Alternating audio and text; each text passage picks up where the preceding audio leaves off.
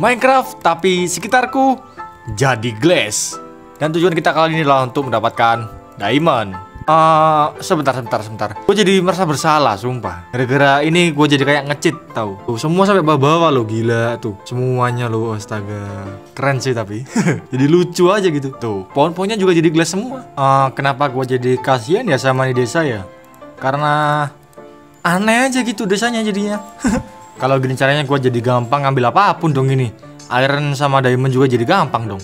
Uh, mungkin tiga dulu cukup ya guys. Buat buat iron doang cukup kayaknya ya. Kayaknya gue harus harus ke sana deh guys. Harus ke bawah sana buat cari diamond deh. Gak mungkin di atas ini ada diamond. Waduh, kenapa tuh?